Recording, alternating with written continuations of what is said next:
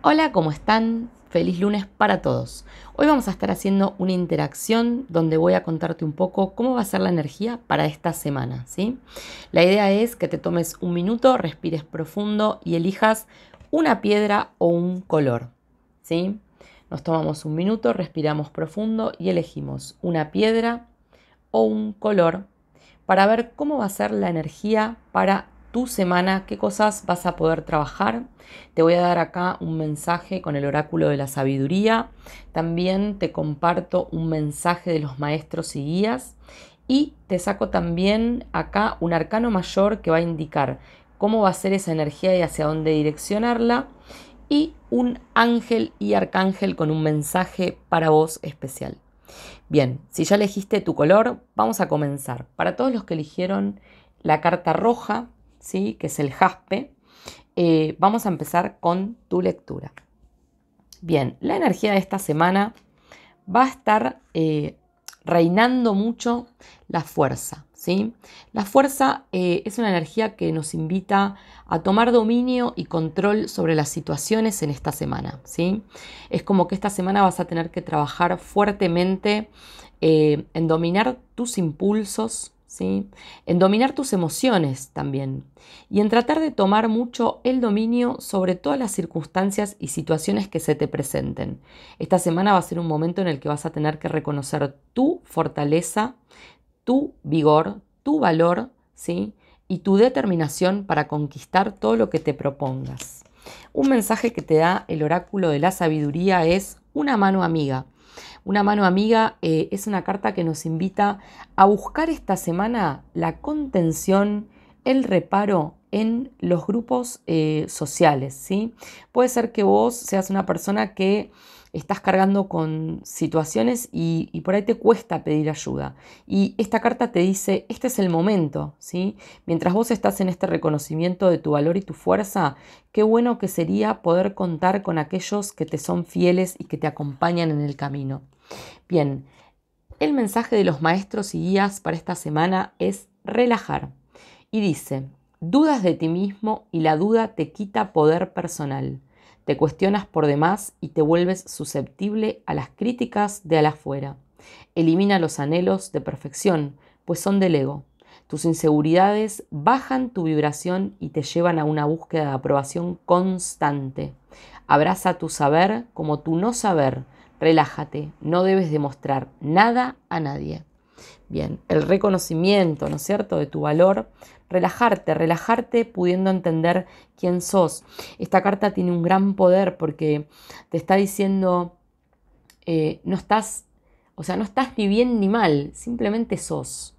Y qué importante es a veces poder relajarnos en eso, ¿no es cierto? Con todas nuestras virtudes y también con todas nuestras imperfecciones, ¿no? Como dejar esa necesidad a veces de ir un poco por la vida queriendo complacer a todo el mundo o queriendo parecer perfectos, sino estar en un momento donde realmente empezamos a tomar este dominio poderoso de nuestro ser, de nuestra verdadera identidad.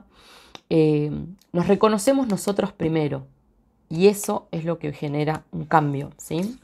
Bien, y tu ángel arcángel es el arcángel Gabriel y te sale la emperatriz. Es el momento de actuar conforme a tus planes. La creatividad se verá recompensada. Medios lujosos o abundantes. Esta carta te habla de, otra vez, tomar el dominio, el control, eh, sacar ahí afuera tu espíritu guerrero, tu espíritu de lucha, reconocer tu valor. Eso va a llevar a que vos esta semana puedas estar vislumbrando eh, cómo accionar en base a todas las situaciones que necesitas resolver y necesitas encaminar. Vas a encontrar eh, esa creatividad para poder avanzar en tus planes y en tus metas. Bien, vamos a ver qué pasa con todos aquellos que eligieron la carta verde, ¿sí? Bien, la carta verde nos trae un arcano mayor que es el mundo. El mundo es una carta maravillosa porque nos habla como del momento en el que logramos consolidar un éxito. Es un momento en el que estamos conformes, contentos, a gusto en nuestra existencia tal como es. Es una carta que habla de la conquista, de haber logrado cosas. Eh, esta semana vas a estar manifestando esta energía poderosa en todos los ámbitos. Es un momento para poder disfrutar del éxito, es un momento para poder eh, sentirte cómodo, cómoda en tu mundo, tal como es. Todo eso que has creado para vos, eh, es este el momento de disfrutarlo, de celebrarte. Esta carta también te abre puertas, te abre puertas, caminos, comunicaciones. Eh, así que es un buen momento para que interactúes con todas aquellas personas, tal vez eh, a través de redes sociales, ¿no es cierto? Gente tal vez de afuera, eh, que expandas tu mundo, ¿sí? El consejo que te da este oráculo de la sabiduría es para ser justo. Para ser justo es una carta que nos invita a balancear un poco nuestra vida y nuestra, nuestra perspectiva. Es como que estamos en un momento en el que tenemos que reconocer Em, todo lo que nosotros damos, pero también todo lo que recibimos. ¿sí? Es un momento en el que es importante em, decir y hacer. Hay que encontrar un balance, un balance entre dar y recibir. ¿sí? Es importante que vos también en este momento empezás a sentir que hay una justicia divina que se manifiesta sobre tu vida, sobre tus proyectos, sobre tus planes. ¿sí? Bien, un mensaje que te deja entonces eh, los maestros y los guías es claridad. Claridad dice, aclara tu mente, pon orden a tu vida, tiempo de encauzar tu energía con claridad hacia un propósito mayor. Ordena tus rutinas, dietas y hábitos. Meditar puede ser gran ayuda en este momento de purificación y ordenamiento interior y exterior.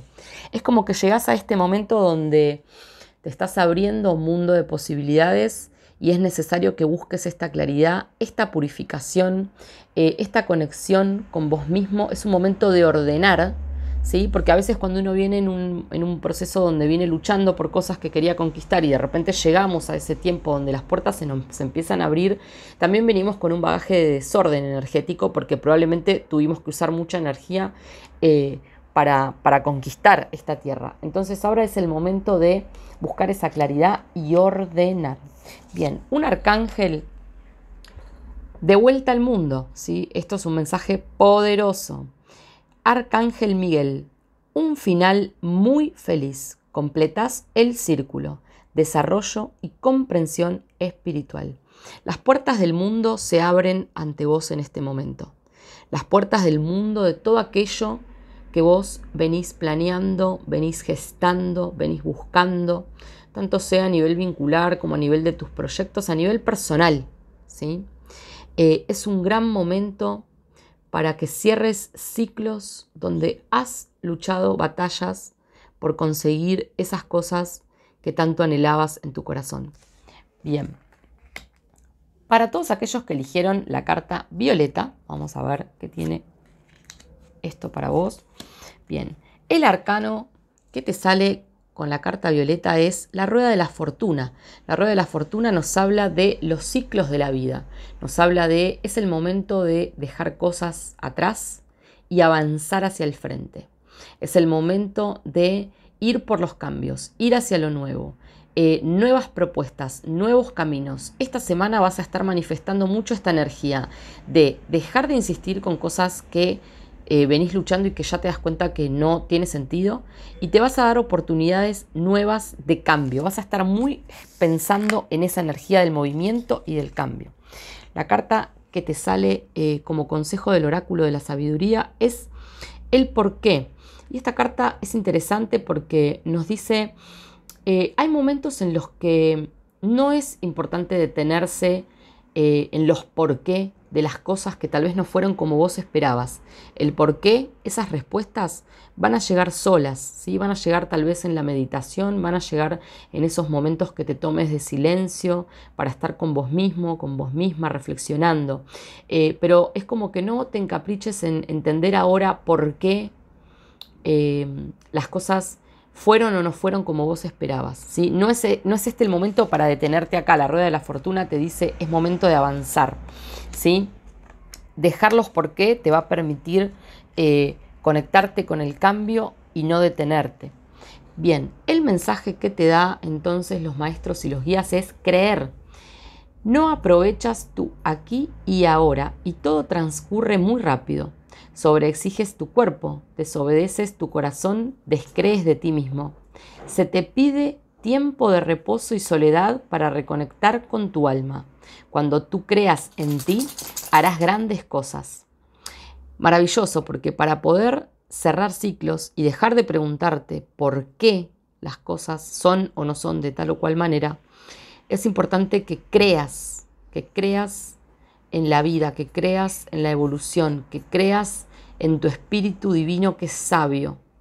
Y este es el momento de creer en vos mismo, dejar de sobreexigirte, eh, escuchar a tu corazón, ¿sí? Eh, para poder avanzar.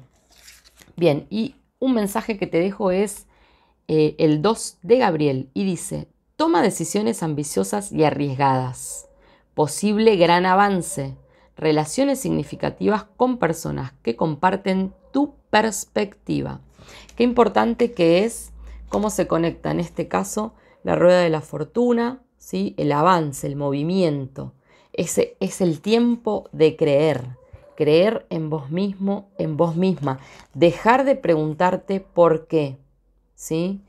Dejas el por qué, empezás a creer en vos misma, en vos mismo, te conectás con la energía del cambio del movimiento y vas a estar tomando grandes decisiones esta semana. Cree en vos para tomarlas y dejarte llevar por eso.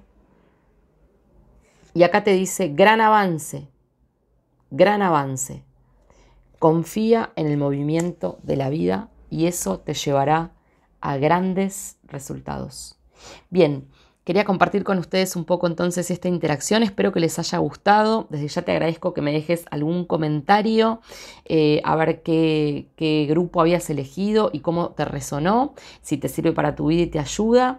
Eh, bueno, y desde ya, obvio, eh, te deseo lo mejor para esta semana, para estos días, este inicio de mes, además de febrero. Te agradezco que compartas este rato conmigo.